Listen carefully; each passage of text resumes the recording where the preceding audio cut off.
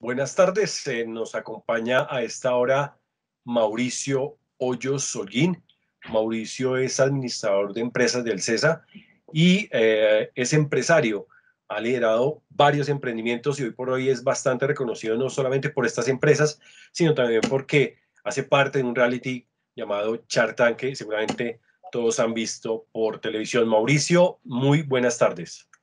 Buenas tardes, ¿cómo estás Héctor? Gusto saludarlos a todos. Gracias, Mauricio. Gracias y bienvenido al CESA nuevamente. Pues, Mauricio, eh, de, manera, de manera muy rápida, eh, de pronto sí, si lo puedes condensar en un minuto, eh, para que quienes, quienes nos están viendo lo sepan, ¿quién es Mauricio Hoyos y cuál ha sido su, su trayectoria para, para, llegar hasta, hasta donde está hoy en día en un minuto y de manera breve? Adelante, Mauricio, gracias. Bueno, yo creo que no, pues por lo menos a mí nada que me parezca más difícil que hablar de mí, pero eh, de pronto, pues es un emprendedor. Eh, desde, desde muy temprana edad, inclusive desde el colegio, pues emprendí varios negocios. Vengo de una familia de emprendedores. Eh, mi padre y mi madre son emprendedores y unos empresarios pues que fundaron varias compañías, especialmente mi padre. Eh, y en realidad mis hermanos también, al final del día, pues somos una familia eh, de emprendedores.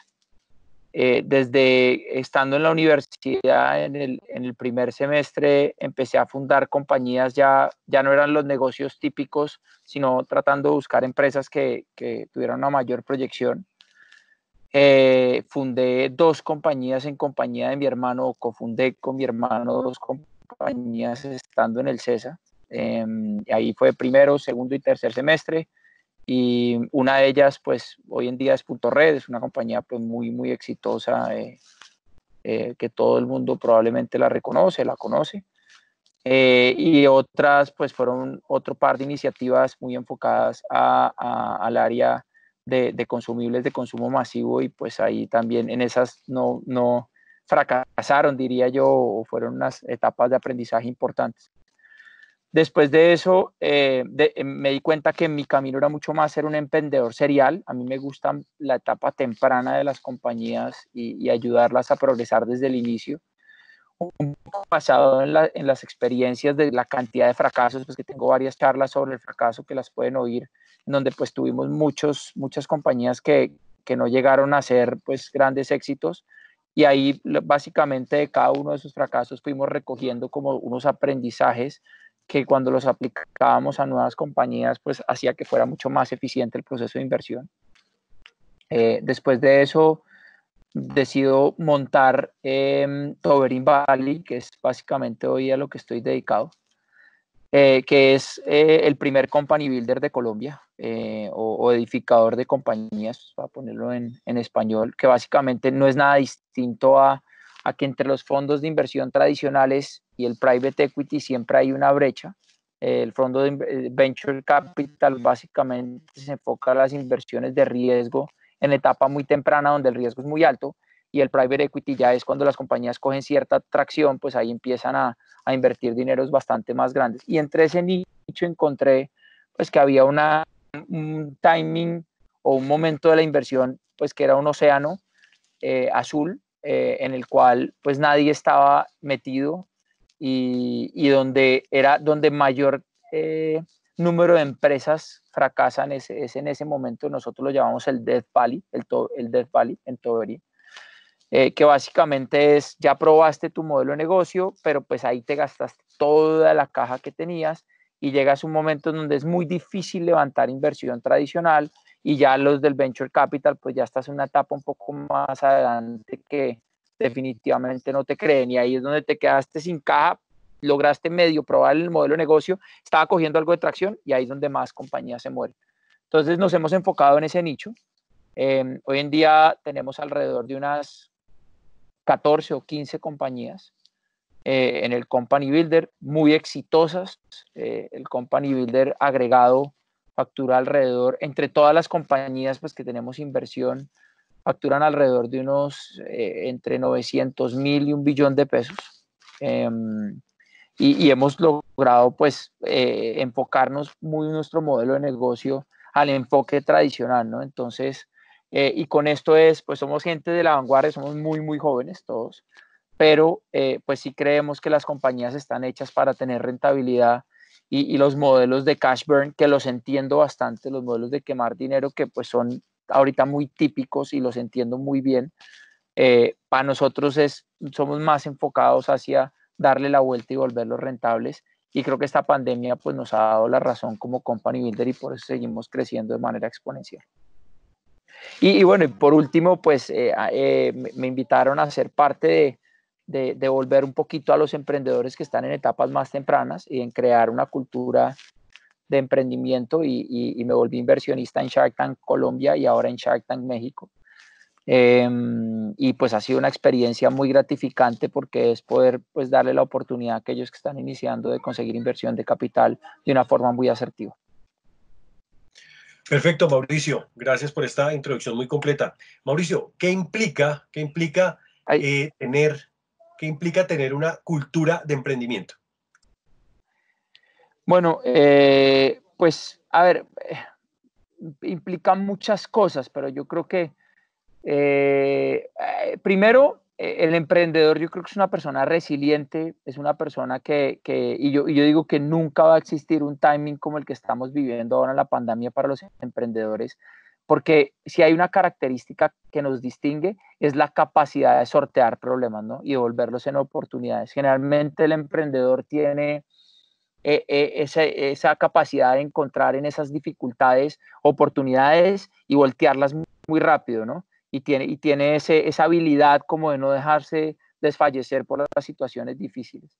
Entonces yo creo que y, las grandes corporaciones pues van a tener muchos retos para, poder asumir los cambios que está implicando la pandemia y los emprendedores pues vamos a ser los que nadamos rápido, somos capaces de ajustarnos rápido, entender nuevas tendencias de mercado y, eso hace, entonces quería hablar de eso para, para decirles que más que una cultura de emprendimiento, yo creo que el emprendimiento realmente es, es eh, es un driver hoy necesario para, para, la economía y no solamente para el que es emprendedor, sino necesario para las grandes corporaciones que van a tener que vincular intraemprendedores para que sean capaces de sacarlos adelante.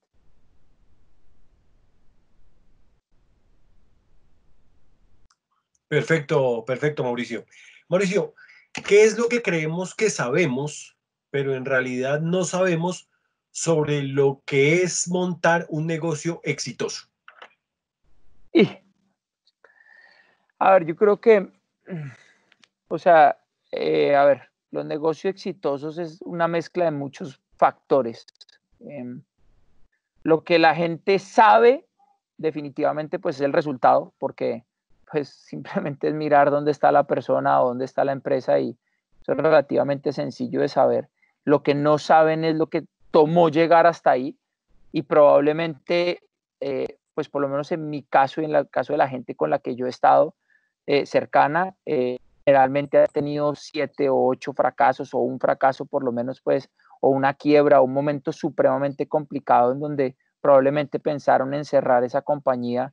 Entonces lo que la gente no sabe es que llegar ahí es muy difícil, no es imposible, pero requiere, aparte de eso, unas habilidades para poder sortear los momentos difíciles, pues que no todo el mundo las tiene. Perfecto. Eh, ¿Faltan emprendimientos para la base de la pirámide? ¿Y hay rentabilidad en este tipo de emprendimientos? Bueno, yo creo que voy, a responderme un poquito por la tangente esta, esta pregunta, es porque yo creo que no es para la base de la pirámide, sino lo que se necesitan son emprendimientos con impacto. Eh, y, no necesariamente impacto hacia los, repito, hacia la base de la pirámide, sino impacto puede ser medioambiental, en fin, hay tantas formas de generar impacto y yo creo que aquella persona que esté fundando un negocio que no tenga en cuenta un tema de impacto, de economía circular, o sea, de que, de que vamos a tener que mejorar la calidad de vida de las personas, vamos a tener que mejorar el ambiente, vamos a tener que hacer las cosas mejor pues definitivamente en el largo plazo, uno, no va a levantar inversión y dos, probablemente no sea un negocio sostenible en el largo plazo. Entonces, perdón que la respuesta de que es un poquito ambigua, pero es la realidad. Yo, más que en la base de la pirámide, yo creo que en todo lo que haya generación de valor para las personas, para los animales, para el medio ambiente, para todo, va a tener un crecimiento exponencial. Perfecto. Eh, Mauricio, se habla de capital, de tener un plante. El aspirante a empresario dice, la idea ya la tengo. Yo lo que necesito es plata y monto el negocio. Si es la plata lo más importante y si no, ¿qué está antes de esto?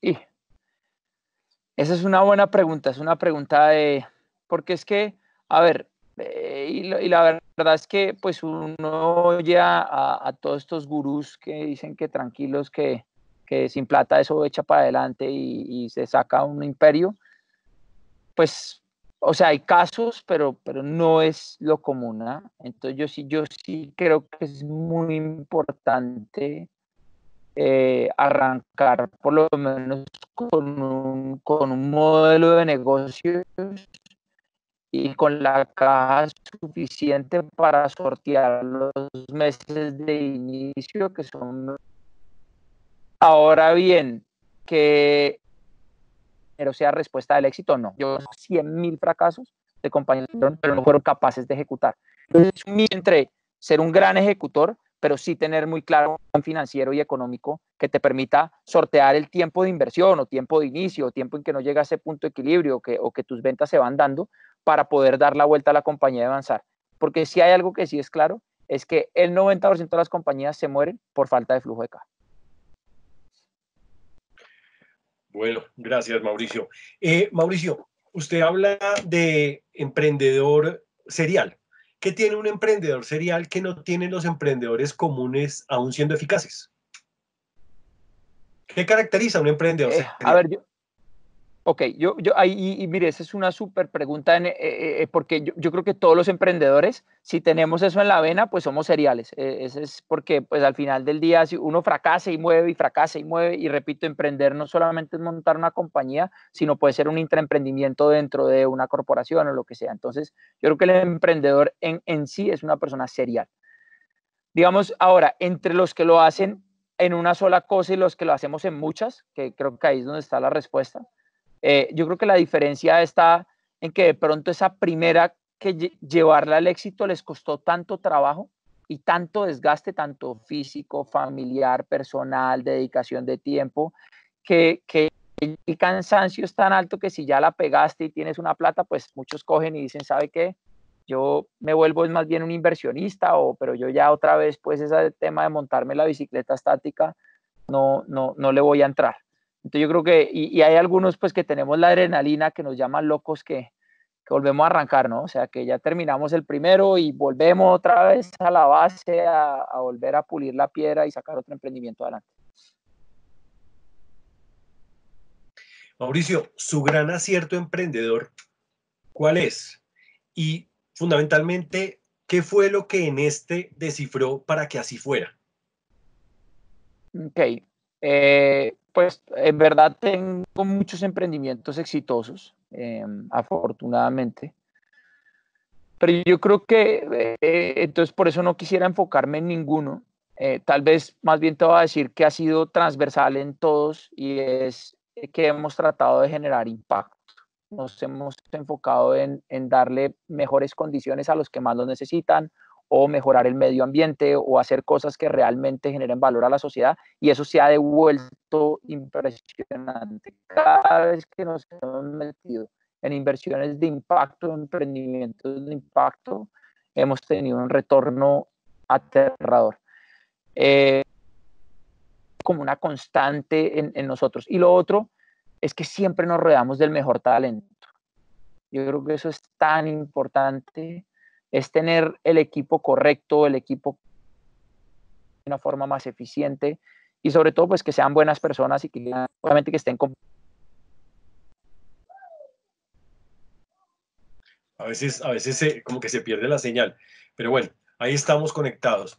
Eh, probablemente han sido muchas, pero ¿cuál cree que ha sido su gran metida de pata?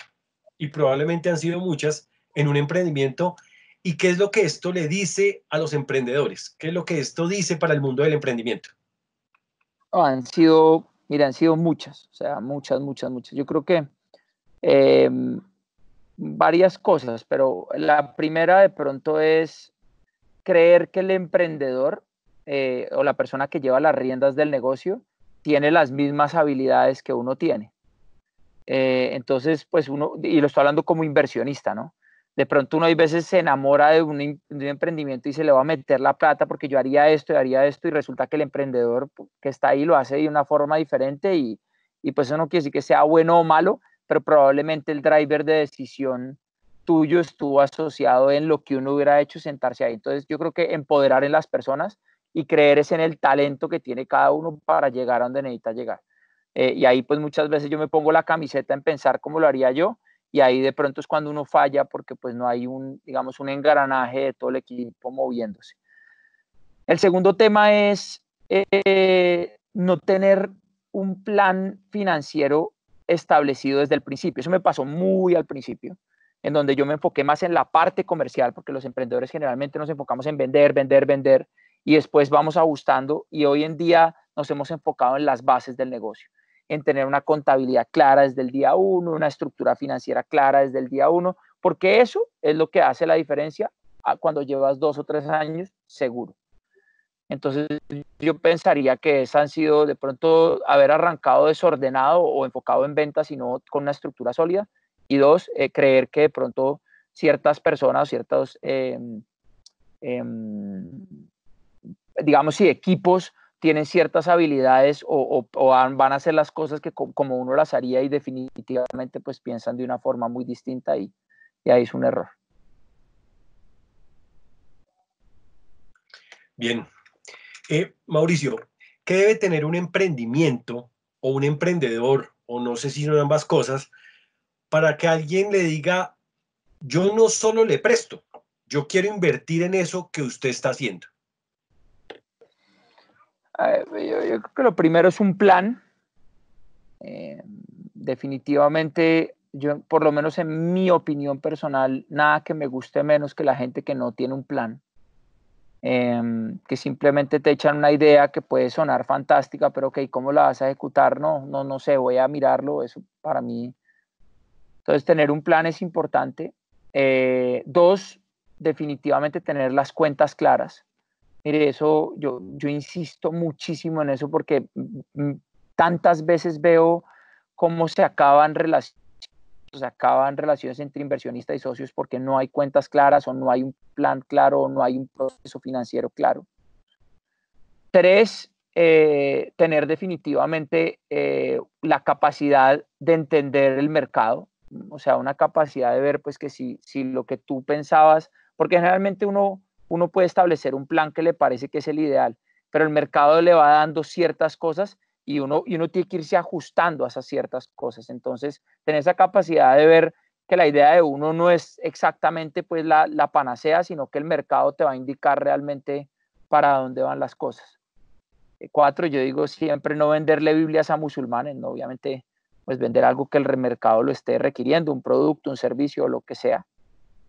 Y por último, definitivamente que el emprendedor sea una buena persona, ¿sabes? Yo creo que, que trate bien la gente, que, que, que, mejor dicho, que tenga unas cualidades humanas importantes y, eso hace que, que, todo sea distinto, ¿no? Uno ve gente enfocada en el dinero como me ha pasado, eh, personas súper inteligentes, pero cuyo objetivo es el dinero, pues puchica, eso en el largo plazo no, no tiene buenos efectos y generalmente genera, eh, pues, fracasos eh, en todos los sentidos, ¿no?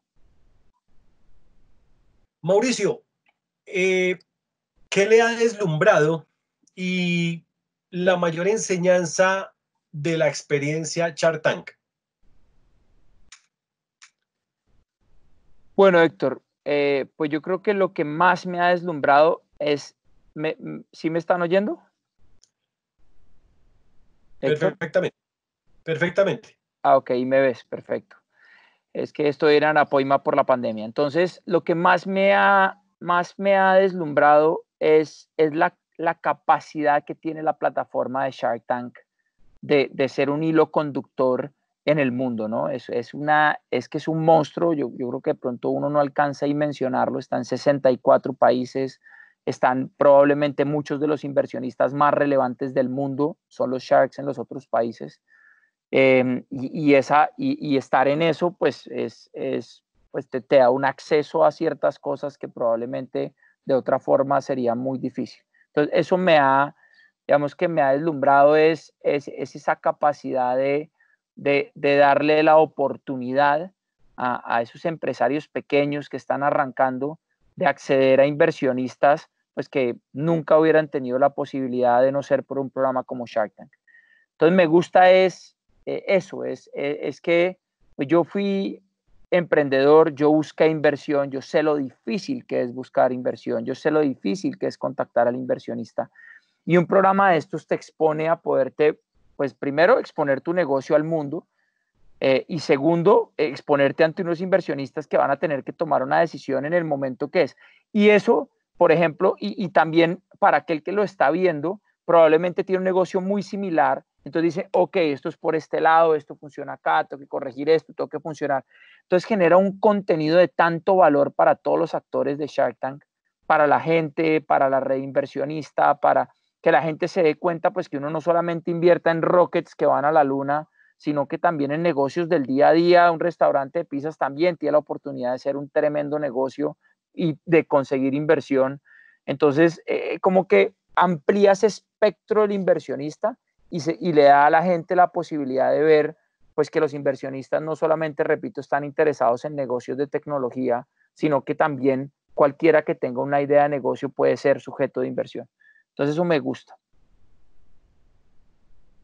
Perfecto. Para ir terminando, si la suerte existe, ¿dónde la hallan los emprendedores? Yo hace un tiempo oí una frase, la he oído de muchas personas, pero es que la suerte no existe, la suerte está a las 5 de la mañana en la puerta de la casa, esperando que te levantes temprano y te acuestes tarde. Yo creo que está en, trabajar, en hacer, en... Y, claro, definitivamente pues hay, hay cosas que, que, son del destino, pero pues si no las buscas, no las vas a encontrar. Claro que sí. Penúltima pregunta, Mauricio. Eh, ¿Cuál es ese último modelo de negocio? Eh, creo que lo eh, mencionaste al comienzo, eh, cuál es ese último modelo de negocio, en qué consiste y para dónde va. Bueno, pues el modelo de negocio es, nos, nos volvimos inversionistas, pero la diferencia es que ya no somos un inversionista tradicional, sino que cogemos una participación muy grande de las compañías y las operamos. Entonces, el emprendedor generalmente fracasa porque no tiene la estructura, como bien yo les decía, digo, en etapas un poquito más entonces se enfocó en las ventas y cuando vienen a ver, pues hay cero plata en la cuenta, nadie les quiere prestar. Entonces nosotros traemos todo el andamiaje desde Toberín, lo que son contadores, abogados, toda la estructura completa y fuera de eso nos arremangamos y nos metemos a buscar los contratos, a empujar comercialmente. Entonces acercamos la probabilidad de éxito y traemos la experiencia a nuestros fracasos para ayudar al emprendedor. Entonces ese company builder se llama Toberín Valley el futuro es, queremos ser en, cuatro años el company builder más importante de la región. Em, vamos por un super camino. Los inversionistas a la fecha han sacado más de 5 o 6X, la gente que entró desde el principio en cuatro años. Eh, y bueno, no, eh, con mucha expectativa y, seguir transformando a Colombia y seguir dando oportunidades regionales. Toberín, eh, deja factura al año 900 millones, entre 900 millones más o menos. Sí, 900 mil millones a un billón de pesos, más o menos. Entre todas las compañías, no, no Toberín, sino todas las compañías en las que tenemos inversión. Aunque en la, perdóname, aunque en la mayoría tenemos la mayoría. Entonces, pues, en algunas consolidamos, sí. 900 mil millones a un, a un billón. Sí. Perfecto. Para despedirnos, eh, finalmente, Mauricio, ¿qué fue lo más importante que le dejó el César para ser quien es hoy? Mire, me dejó, me dejó muchas cosas. De hecho, pues tengo una buena relación con, con Henry, con Henry Bradford, eh, y lo hablábamos algún día. mire, me dejó pues lo primero me dejó unos grandes contactos. Yo creo que eh, tengo gran, varios de mis amigos de la vida pues son, son del CESA. Yo creo que es algo que, que tiene el CESA muy, muy marcado. Es, es, una comunidad pues que se ayuda y que empuja. Em, me dejó muchos aprendizajes eh, de, de, cosas en las que hubiera, me hubiera gustado dedicar más tiempo. Por ejemplo, durante la universidad, eh, de pronto eh, me hubiera gustado enfocarme mucho más en la parte financiera. Eh, uno, uno, se enfoca de pronto en otras clases y, se da cuenta en el futuro que la parte financiera es tan importante en el emprendimiento, independiente de que vas a ser de mercadeo o de cualquier área, si no tienes, digamos, noción financiera, pues entonces creo que eso, eso es un gran valor del CESA. Eh, y por último, pues definitivamente que siempre hablaron de emprendimiento, que yo creo que es un, un hito importante. Y si, pudiera dar una, un tema, sí creo, se lo dije a Henry, que, que pues eh, la educación a futuro va a cambiar eh, y, y, creo que el CESA, que ha sido tan pionero en los temas de emprendimiento, toca darle un enfoque y creo que se lo están dando hacia nuevas habilidades que permitan obviamente a los jóvenes competir en estas nuevas realidades, porque el emprendedor siempre se va a enfrentar a unas situaciones que no se sortean pues con, con cierto tipo de skills, sino se sortean es, digamos, a, eh, aprendiendo a atravesar momentos difíciles, aprendiendo a sortear situaciones difíciles, y, creo que eso es algo en lo que, lo que pues eh, es, es, difícil de, de, de, poner en marcha, lo sé, no, no, no es tan claro, pero, pero pues de pronto uniéndose más con, con emprendimientos eh, como el nuestro, en donde pues los estudiantes puedan ver más en la vida real empresas o emprendimientos, creo que hay una oportunidad grande. Bueno, Mauricio, pues eh, muchísimas gracias por todas estas puntadas en relación con el emprendimiento, con su experiencia que es la experiencia que seguramente viven muchos emprendedores eh, o quienes sueñan eh, para convertirse o para tener su empresa y que se enfrentan día a día con, con todo lo que usted se enfrentó. Eh, ha sido un muy buen tiempo. Muchas gracias, Mauricio, por, por esta entrevista. Y bueno, estamos en contacto. Seguramente más adelante nos volveremos a ver. Y felicitaciones por todos estos negocios que están generando impacto para el país. Muchas gracias y feliz tarde. Gracias, Héctor. Eh, gracias a todos. Eh, gracias al CESA de recomendarla como universidad. Se la recomiendo a todo el mundo. Realmente fueron unos super años y, y, la comunidad es espectacular y tienen un gran rector en este momento. Entonces, la, la está muy bien dirigida la compañía, eh, la, la, universidad y sé que los docentes que están ahí son maravillosos. Les mando un cordial saludo y espero que, pues, podernos seguir viendo y en Toberín el CESA siempre será mi casa y tendrá en Toberín una casa también complementaria.